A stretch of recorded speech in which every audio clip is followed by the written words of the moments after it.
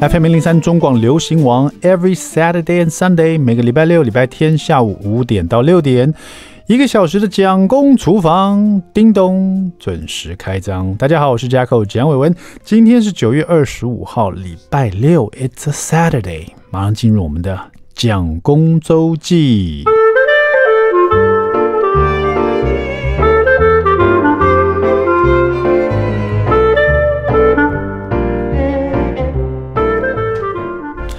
大概也是快要两个礼拜前吧，家里的两兄弟，一个八岁的 Jackson，一个五岁快六岁的 Layton 啊，两个人呢最近常常容易大吼大叫，就是一个不开心就开始，哎，这是我的，为什么你可以那样子？爸爸，为什么他可以这样子？爸爸，弟弟他又怎么样了？爸爸，哥哥是臭哥哥，尿尿哥哥。大便哥哥，就常常这样子，然后我就要立刻赶去说：“怎么啦？发生什么事情呢？”呃，但是我真的觉得这几年呐，呃，我们蒋公厨房一直都有这个跟罗宝红老师连线，甚至请他到现场来。那因为他是我大学同学，然后在他发迹的那 前几年，他第一本书出的时候了，就是说他还没有变成这个呃，他现在算亲子界的。呃，天王了嘛？那当时还没有坐稳这个宝座的时候，然后我们就我就常常到他家跟他请呃请教很多有关这个养儿这个育儿经呢。那其实扎扎实实学到了很多，我真的觉得用用的真的呃很棒啊。比如说最近尤其两个儿子啊，年纪又大了一点点，真的很容易起争执，不管在文具上面啊，或甚至一些冲突啊，怎么去怎么去解决他们？像我举一个例子好了。呃，大概一个礼半礼拜前就发生一件事情。那时候爷爷奶奶正好到我们家来，就是讲爷爷讲奶奶到我们家来吃我做的菜。当然了，家里一定会有这个玩象棋啦、吃菜肴啦，然后聊天啦什么什么的。然后过一阵子，我就听到，因为。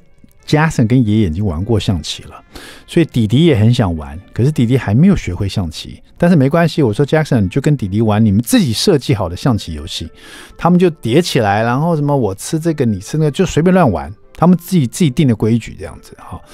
那当然了，玩到后来这个，我就听到不知道为什么我在厨房里做菜，我就听到 Jackson 很大声说：“你怎么可以这样子？你怎么可以这样子？”很大声。然后我就那讲爷爷跟讲奶奶都。突然之间觉得，哎，怎么突然之间小朋友在吵架？我就赶快赶过去。然后那时候蒋夫人就觉得说有点不好意思，因为爸爸妈妈都在。然后呢，小孩又这么大声，然后他立刻就跟 Jackson 讲说：“哎，Jackson，你怎么可以这么凶？你怎么可以态度那么差？”然后我马上过去，我就用罗宝红那一套啊，没关系，来来来，先跟爸爸说发生什么事情。然后谁要先说？然后弟弟就没有讲话。然后 Jackson 说：“弟弟啦，他都故意气我。”他都故意气我，我说真的吗？弟弟怎么气你的？他都就不假装没有听到我讲话。我们在玩这个，他但是玩这个，他就乱弄一场。然后我跟他说话，他不理我。然后我就看着弟弟，然后弟弟就一脸真的还有这么说，那个那个脸就是对我就是这样子。我说弟弟，你真的有气哥哥吗？你真的不想听哥哥讲话？那你为什么不想听哥哥讲话呢？哥哥讲话不好听吗？那我都用很平静的这个这个语言跟弟弟讲话，也没有怪怪罪他。你看，然后弟弟就说：“那这样他就比较容易打开心房。那如果你一开始就骂他，弟弟怎么可以这样子？什么什么什么，他就会觉得很 defensive。然后，可是呢，在这种情况下，弟弟就说：没有啊，哥哥每次说我不想要这样玩，他就一定要这样玩。那我不想要这样，然后他一直讲一直讲，我就不想要听，我就不想要听。我说，我就说，弟弟你不想要听也可以。”但是你这样子会气到哥哥，你看哥哥那么生气，然后他就有点，他那个脸就是我就是要气他，他这样就是这我要的结果啊。然后我就跟他讲说，弟弟啊，那假如说你跟爸爸讲话，你希望爸爸听你讲你做了什么好梦啦，或者你想看什么卡通啦，你最喜欢小叮当什么道具啦，这些都是你最喜欢跟爸爸讲的话，对不对？对。那如果爸爸都假装没有听到呢，你会很难过，你会很伤心。会，我说你看哥哥，那哥哥现在真的还在生气。我说你看哥哥，你这样气他，他就很难过，很伤心啊。那如果爸爸这样对你，你也很难过，很伤心啊。那我们在家里面真的不可以这样子，不可以让自己的爸爸妈妈，或者是爷爷奶奶，或者是哥哥，或哥哥对你也不可以，不可以这样假装没有听到人家讲话，然后故意去气对方。你不可以这样做，你去气对方是不对的。然后弟弟就，因为我前面花很多时间慢慢跟他讲，他就比较听得进去。我说弟弟啊，我就觉得他已经听懂了，而且已经愿意听我讲话了，所以我就是弟弟啊，那这个很重要。我说弟弟。那你跟爸爸一起说，你跟哥哥说，哥哥，对不起，我下次不会再故意没听你说话，故意气你了，我不会这么做了。然后弟弟就跟着我，我很平静的这样讲。然后弟弟也真的说，哥哥，我下次不会再气你了，我不会再故意没听到你的话了，对不起。他就照了我这么说，然后这个事就这样结束了。然后后来我就特别跟我爸爸妈妈，还跟那个。蒋夫人讲：“我说啊，尤其像弟弟这种五岁快六岁小朋友，他们其实很纯真、很单纯。你叫他重复这个话，他真的愿意讲出来的时候，他会真心去相信他的。就是说我不要再气哥哥了，我不要再做这个坏事了。他不像大人，有时候言不由衷的。小孩子有时候你叫他讲，他真诚讲，他就真的去这样做到。接下来就是要鼓励他，希望好好做到这样子。所以我最近就就发生这个事情，我觉得我自己处理的还蛮棒的。”拍拍我自己肩膀，嗯，蒋伟文，你做的很棒，也是一个好爸爸。好的，接下来是我们秋分时节的暖心推荐。是的，我们中广好物市集的跟林银杏的中广连麦哈。那这个林银杏就可以算是大家说是杏仁界的香奈儿，因为你知道在秋秋冬时节呢，来一杯非常棒的经典杏仁粉所泡的杏仁茶，或者其实杏仁粉呢也可以做很多的烘焙，比如甜点啊、饼干啊、咸派啊、烘焙料理等等哈。在冬天的时候还可以制作杏仁火锅暖。味又健康，不管怎么说，杏仁是含有丰富的维生素 E 啊，具有抗氧化的功效，增进皮肤与血球的健康。而且杏仁还有大量的膳食纤维，可以促进你的肠胃蠕动，更容易排便，并含有单元不饱和的脂肪酸，还有矿物质哦。别忘记了，这就是我们林一信跟中广连麦哈，只要上我们中广的好物市集，你就可以享受到这个林一信的经典杏仁粉，还有更多哦。好，接下来我们来听大卡斯郭恒奇的这首《海边的曼彻斯特》。听完这首歌，马上回到蒋公厨房。I like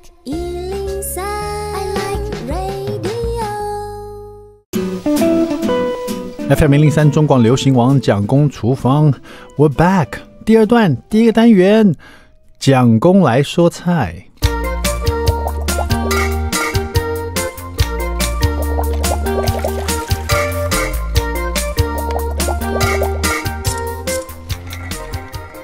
蒋公来说菜，我们上个礼拜啊，我不知道你记不记得，上个礼拜就是礼拜天的时候，我讲了这个我爸爸妈妈到我家来，然后我爸跟 Jackson 喜欢玩象棋，我妈喜欢来点菜吃这样子。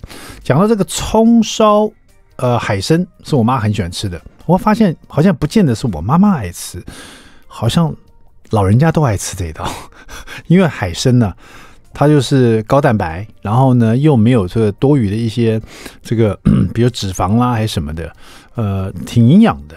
然后呢，老人家就牙口不好，喜欢吃那个煮的烂烂的那个海参呢，味道又很足。这样，那葱烧海参要怎么做呢？啊，很简单。那其实你你到市场去买这种已经发好的海参呢，呃，或者是买比较有品质保证的。啊，比如说老鞋珍这种的，他们有发好的海参啊，都可以啊，市场也有啊。有时候，不过有时候就市市场买的哈。第一个你要到那个 比较大的市场，它才会卖有发好的海参，因为通常那种小一点市场，它它可能要过年的才才会有在卖这个东西。然后那大一点市场，现在你知道，大家也不太喜欢去逛那么多这么多人的市场，但是也 OK 啦。那自己发就比较麻烦，自己发至少花个两天的时间。就从干的海参，然后就发到那个它的大小，至少花两天。所以我都是现在是买这个已经发好的哈。买回来以后呢，你可以请那个老板娘把里面的这个海参的一些筋啊、一些什么沙子啦、嘴巴啦都把它剃掉。你回来再稍微再清洗一下，也是很轻松啊。那海参种类很多了，有有长刺的啦，有的没有这样子。那不管怎么样，买回来以后呢，你就先破半，破半以后呢，打斜片。打斜片的意思就是大斜片，就是说你切的时候呢，有点打斜刀切进去，然后这样的话，它那个被切开来的那个呃被切开的面积比较大一点，那这样煮的话比较容易透。或者你喜欢切条状也可以哈，切条状，然后我们就把它放到这个一锅滚水里面，先从冷水哈，先放一锅冷水，里面放葱，放葱段啊，还有这个姜片。呃，所谓放葱段这样讲不正确，是应该是两把葱，把它卷起来绑个结，把它丢到这个水里面去，然后呢姜姜片丢进去这样子，然后放一点料酒，通常我是放黄酒，就是绍兴酒这样子，放一点点，然后就把这个海参哈打斜片。的海参把它丢进去，在里面先煮这样子，那大概煮个十五分钟左右哈，大概煮到你想要的软烂度哈。那有的人是只像我有时候是整条去煮这样子，如果比较小条的话，整条去煮，清理干净肠子的啊，破半还没有完全破断的，直接放在里面煮，煮个十五分钟，拿出来。先稍微呃冰镇一下，就是把它放凉一下，然后再把它打斜片切这样子。然后呢，在锅子呢就把水倒掉了啊。这个海参第一步骤，第一个把它穿烫，去除它腥味；第二个呢，穿烫的时候顺便煮，煮到它到你喜欢的软嫩度啊，放旁边备用。然后锅子再烧热，然后这时候呢，我们就把那个葱白啊，大概要四五把葱白啊，葱白再破半，然后再再切细一点点。啊，葱白把它切细，切成葱白丝这样子，然后呢，用多一点油，比如说三到四大匙的油，甚至五大匙都可以，去把这个大量的葱白丝呢，呃，从冷油稍微把它炒到香，到中温的油，到热油，然后把这个葱白充分的在这个油里面呢，等于说半煎炸，或者甚至有点像慢慢把它泡炸的，炸到这个葱白都已经有点。焦黄，可是不是焦黑哦，焦黄哦，焦黑就就所谓的糊掉，就有苦味，不要有苦味，要焦焦黄，香香的。然后这个油已经变成葱油了，这时候呢，你用滤网把那个或者用筷子把所有的呃这个在里面泡炸过的那个葱白，已经有点焦黄的干干的这样，整个把它捞起来，捞起来放到这个呃热水里面啊，这个热水呢大概要。五百 CC 最少，五百到八百 CC 的热水放到里面去，就泡在里面，上面再放个盖子，泡在里面，让这个这个汤汁啊，葱很香的这个炸到泡燥那个那个葱啊，放到这个热水里面去泡着。那这个热水待会就是你煮这个海参的汤汁，你先放旁边，然后这个葱的油呢，炸这个葱的油呢，大概四五大匙油，你就把它沥干沥出来，这个就是我们待会要烧海参的油。葱香油，因为海参它没有油嘛，它发海参的时候也特别不能碰到油，所以海参没有油，所以你要用的油量会比较大一点。好了，那锅子里面你把油沥出来，再留一点点油，这锅子里面就是葱香油了，这个香气了嘛哈。这时候呢，你再炒香这个葱段呐，然后再炒葱白段啊，因为葱烧这个乌参嘛，葱烧海参嘛，所以这时候再切葱白段进来炒香它，也是大量一点，大概呃五到六只这样子炒香它葱段。白段的葱白段，然后姜，呃，我是没有在放姜的时候，只是穿烫时候放。这边就只有葱的香气，炒香它以后呢，就会放一点点蚝油、酱油，酱油会比蚝油多，比如说二比一的这种量，然后加一些冰糖啊或者砂糖，然后再加刚刚那个泡葱白的水啊，五五百 c 把它丢进来煮滚。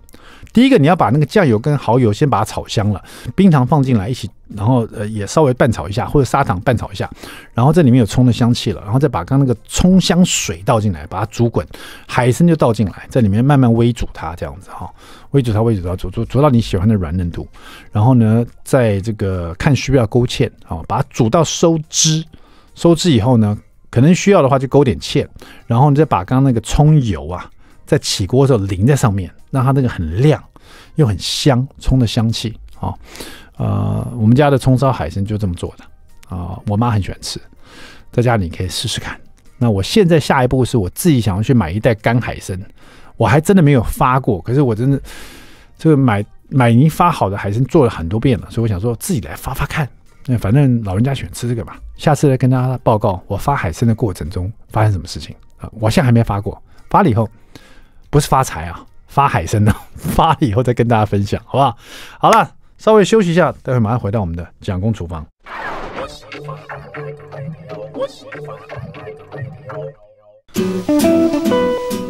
FM 零零三中广流行王蒋公厨房，We're back，我是 Jacko 蒋伟文。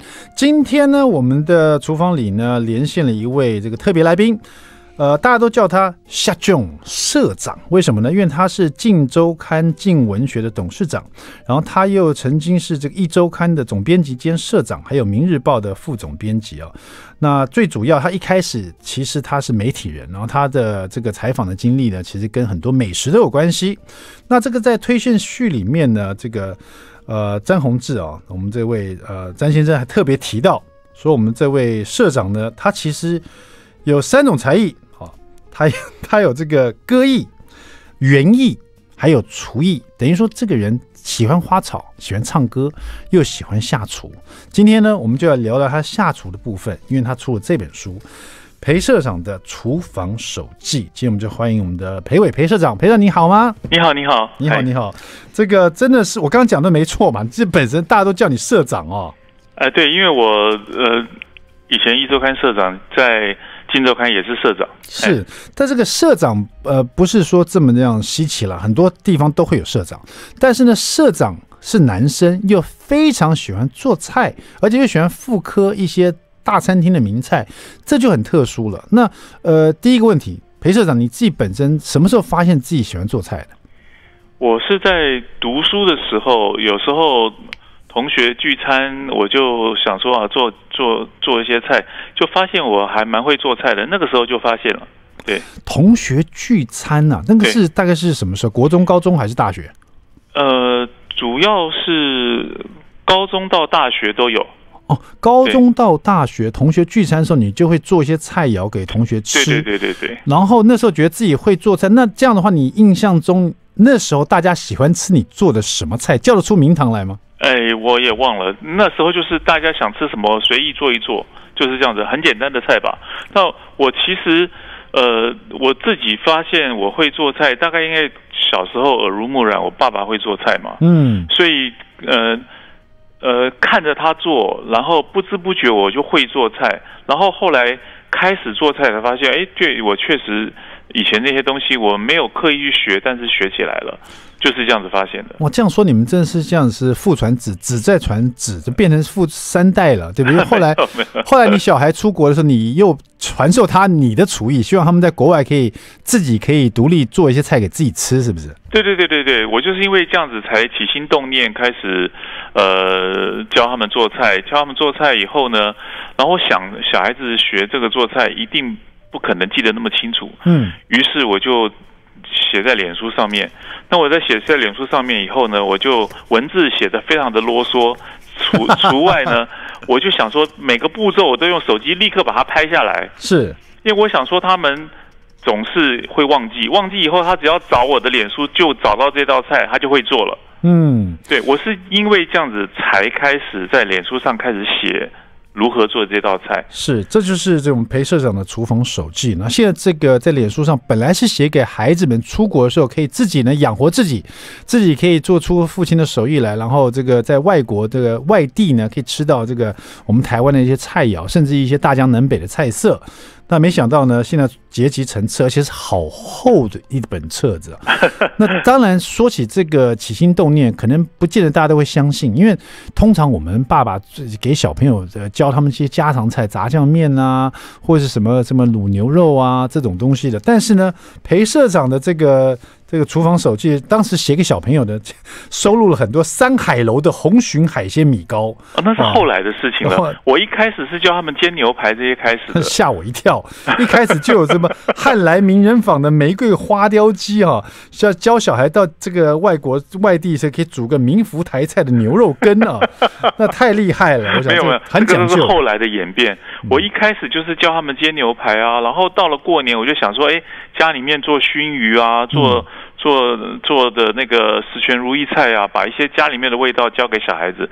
一开始是从这边开始的，后来你知道，因为因为台湾就是有疫情了，对，有疫情之后呢，那我我我跟我们杂志社的美食组的副总编辑在讨论的时候，我就说，哎，你应该邀请一些呃大厨师啊，是来网网络上教大家如何在家做菜。结果一个礼拜以后呢，那个我们的我们的副总编辑就跟我讲说：“哎，社长，你在脸书上写那些东西就很合适啊。”嗯，于是他就把它开始在网络他去整理，就变成在网络的一个专栏。那个时候就是陪社长厨房手机了。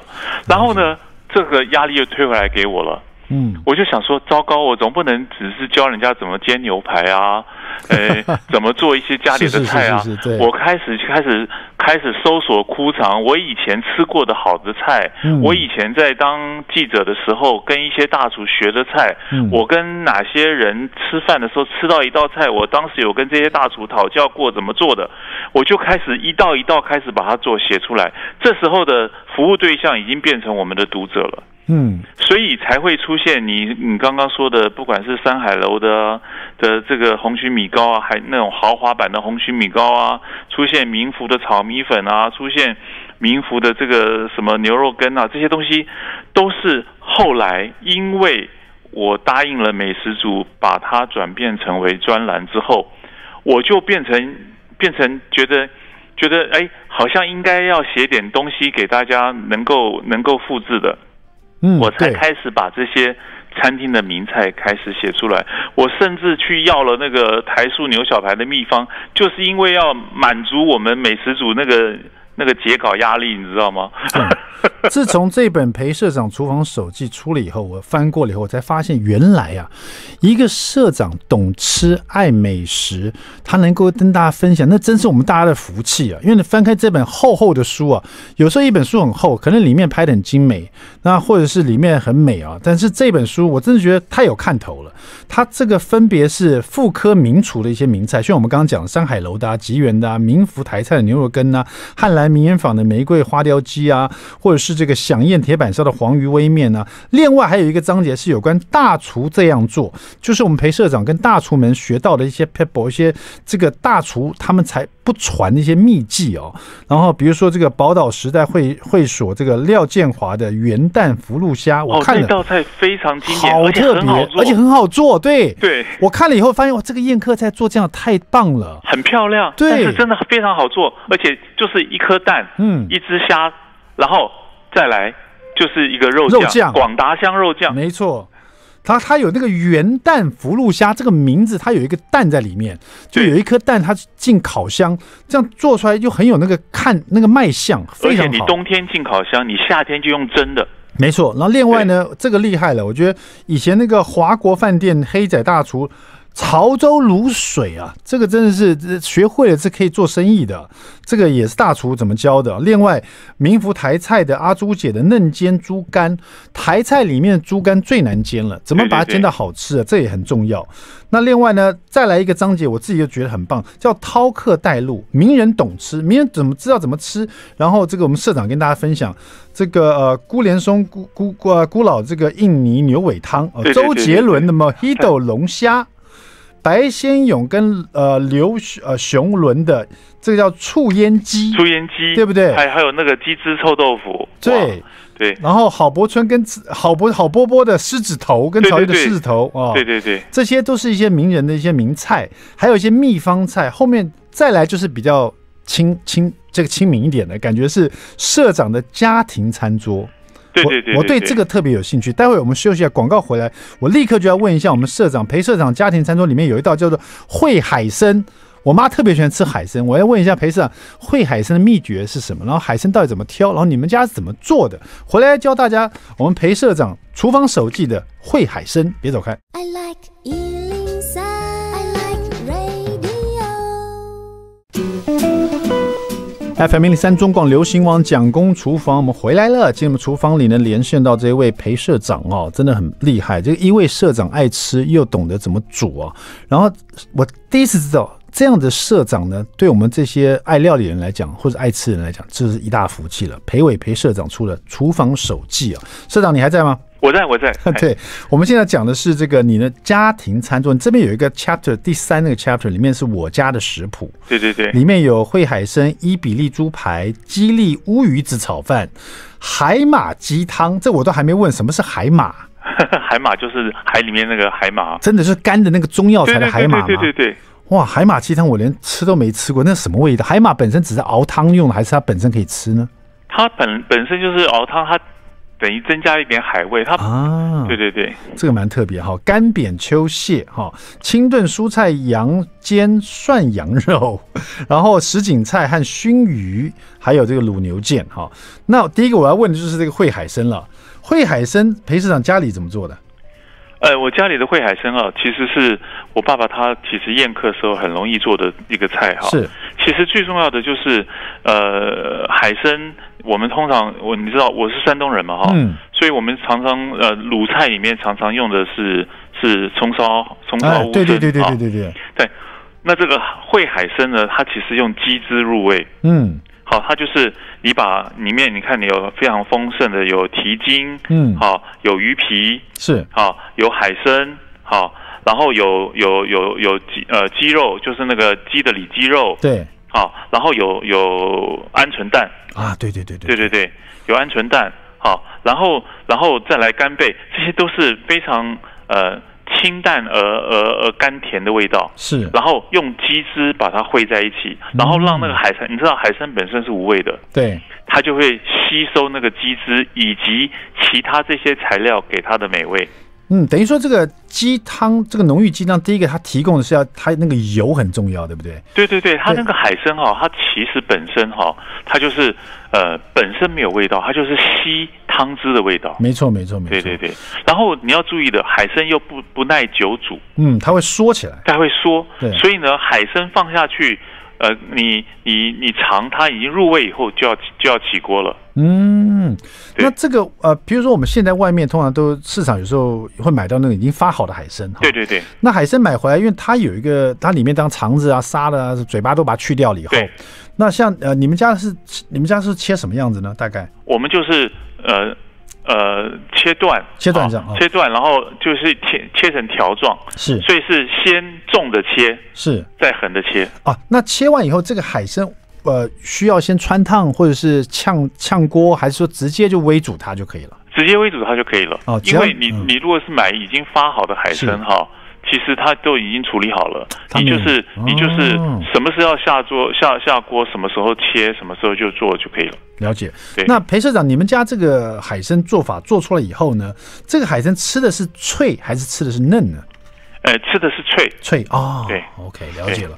那因为我这个我想问的是，我我常常煮的是脆的，可是有时候我看那个呃厨房里面，人家会有时候煮那种一条海参的乌参那种的，乌参那个葱烧海葱烧乌参，那个就要煮到烂。呃，对，它就是味整个味道进去里面，它就非常的软韧。嗯，对对对，是那像那种做法不一样。那种要煮多久？那种那种其实也也不用太久，那个通常通常味海参的味道大概三十分钟以内就就要起锅了。啊，讲到那个，因为这是鲁菜系的哈，所以就是呃葱烧啦，这个味煮啦这样子。爸爸是山东人，因为刚刚裴市长在第一段访问讲到说，其实耳濡目染啊，爸爸以前在家很喜欢煮菜这样子。那这个这个后来呢，你的孩子除了看你的手机以外，有没有你觉得有没有传承到你们这个家的味道？呃，他没有正式的做像样的一道菜给我吃过哈。不过呢，他现在变成一个帮手，比如说，呃，像像我在这个书里面，呃，有一道那个炒秋秋蟹的那个部分，是是是是，前面不是最重要的那些香辛料嗯。要炒香，然后再用螃蟹去去去去靠它的嘛哈。是那个香辛料就是我儿子炒的。啊，我就跟他讲说，你就这些东西就不断的翻炒，不断的翻炒，有耐性。这是三十分钟的这个料炒香，就是提供整道菜的的灵魂。嗯，哎，他就做这些事情，慢慢慢慢。我最重要是训练他的舌头，当他懂得吃了以后，他很快很快很快，他以后就容易上手，也会开始有自己的变化。哎，这个也是一个重点，因为裴社长其实说自己在学生时期，因为很喜欢煮煮料理给同学吃，大家觉得不错，他就发现自己手艺还不错，当然是爸爸耳濡目染了。但是我觉得还有一个重点是，裴社长你本身其实是蛮爱吃的，对不对？对我很爱吃，对对，因为你刚开始在做这个媒体的的时候，也是接触到很多饭店嘛，对不对？对。那时候我在《工商时报》，我的第一个路线就是休闲产业。那时候刚好台湾最重要的三个饭店，呃，现在的金华以前叫丽晶，嗯，啊，丽晶、凯悦还有西华，刚好都那个时候成立。然后呢，我就去采访，然后去试菜。哇塞，哎，那你就知道了，试菜 就会对对对吃，然后就会胖，所以有有我们的职业伤害就是我那时候就胖了二十几公斤。啊，这这太厉害了。不过呢，这二十几公斤不是这个没有这个代价的，就是其实有，就是这个二十重是重了，可你你这个求学的知识这个欲望很强啊，你问了很多有关在这里面秘诀，是不是？对对对，比如说我我吃了一道菜，我觉得它好吃，我就会跟这个大厨讨教一下。那个时候他们饭店刚开，他也不厌其烦的告诉我说，诶，他注注意了哪些东西，注意哪些东西，他不厌其烦的告诉我。后来我们就慢慢呃，就像朋友一样。那我我这次在做这些菜的时候呢，我我觉得哪边可能不妥，我还会打电话问他们，嗯，诶，他们还会告诉我。哦，没事，那这一本院实在很厚啊，然后其实有很多可以跟大家分享的。但是我想，我想问你，就是刚刚是我自己挑了一个惠海参这样来问你哈对，裴胜让你自己来挑到一道，你觉得真的很希望跟大家分享，但这是很难的、这整本这么多道菜，但你最想跟大家分享，在这个广播里面会是哪一道呢？哎，我觉得我们在家里面常做的一道菜哈，嗯哦，就是菜包能。啊，菜包能哇，这也太家常了耶，对，我想，我我为什么想分享这道菜的原因，就是那个菜包能哈、看似寻常，嗯要好吃非常不简单。这就是真正大厨教我的秘秘秘诀，就在这边。哦怎么样呢？第一个，我们可能都忽略掉的，蛋要好吃，嗯一定要在常温。嗯所以呢，我们应该要把蛋从冰箱拿出来，放到常温上，嗯，好，让它回到正常的常温以后，才可以去做这个料理。哦，那个民福的阿朱姐就跟我讲说，哈，那个蛋一定要常温，不然哈，美伤。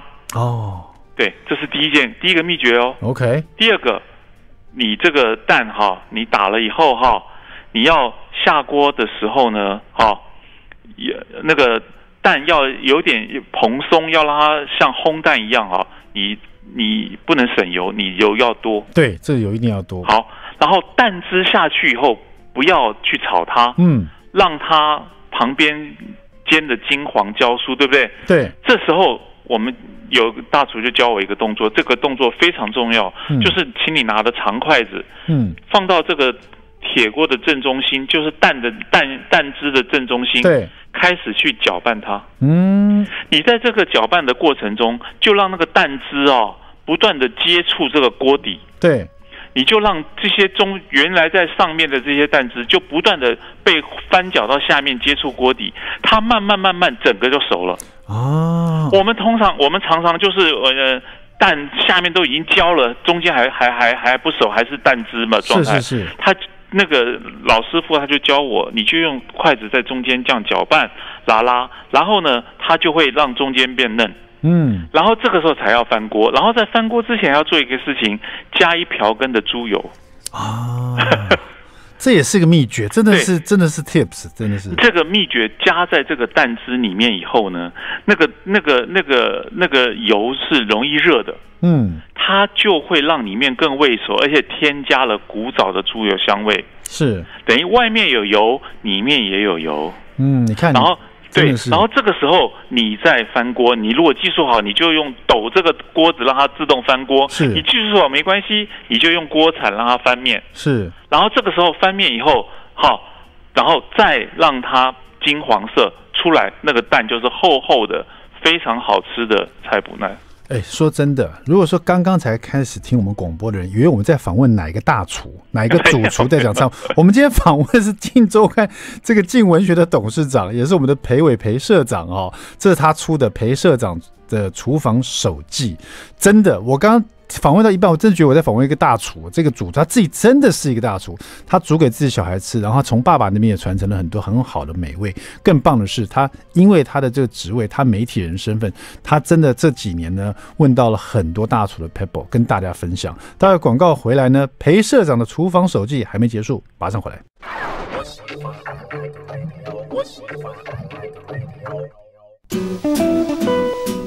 FM 零零三中广流行网蒋公厨房，我们回来了。今天我们厨房里连线的是一位裴社长，什么裴伟裴社长啊，他出了厨房手记哦，在这本书的封面写的大大的，这是被媒体业耽误的大厨。我访问到这边，我真的有这种感受。他有没有被耽误我不知道，但是呢，这里面呢这一本书很厚，里面有台塑牛小排真正的秘方，米其林餐厅人气料理真的大公开。那最主要的，其实这个起心动念是裴社长是写给孩子的一些家传的食谱哈。那这个最后一点时间呢，我请裴社长再跟大家讲一下这一本，这算是你第一本这么厚的书吧，裴社长？是啊，是啊，这是我第一本书，没错。而且是厨房的手记。对对对，你觉得这个这本书啊，这么多人帮你推荐，而且都是一些真的很有名的名人，这本书里面的分类又这么有趣哦，你觉得最后还有什么可以跟大家分享吗？我觉得我后来出这本书很意外的一件事情，就是说我发现它变成我们父子的餐桌。嗯，为什么呢？因为我我我儿子出生的时候，我父亲已经过世了，是，他们其实没有机会接触到我爸爸。嗯然后借由我在教他们菜的过程中，尤其是教到我爸爸教我的菜的时候，是，哎，他们突然间接触到他的祖父，嗯这是我意外的收获。我我没有想到，我出这本书，在写这个食谱，在教他们菜的时候，意外的把他们之间的关系牵扯在一起了。嗯，我我想这就是料理它深奥的地方。对对对对对，对对我想你在家里面你做的菜，这个菜如果是你以前你爸爸或者你妈妈教你吃的，或者那个你在跟你儿子讲的时候，你不知不觉就把他们串起来了。没错没错。对那透这透过意外的收获。透透过料理的一个味道，我们勾勒出亲人的轮廓。对对对对对对，我觉得餐桌上就是这回事。这就是一个传承啊。对对对，简单来说，简单来说，一道料理可以很美味，可以填饱你肚子，可是呢，它有它更更多的一些功用，你意想不到的一些地方，甚至于勾勒出你意想不到的人的轮廓哈，而且一代一代传下去哈。是的，是的。裴伟裴社长这个厨房手记啊，真的我觉得好值得收藏哈。谢谢谢今天裴社长跟我们连线，谢谢，祝你这本书呢更多人可以看到，更多人可以分享下去。谢谢你，谢谢蒋公厨房。我们下次再见了，谢谢，拜拜。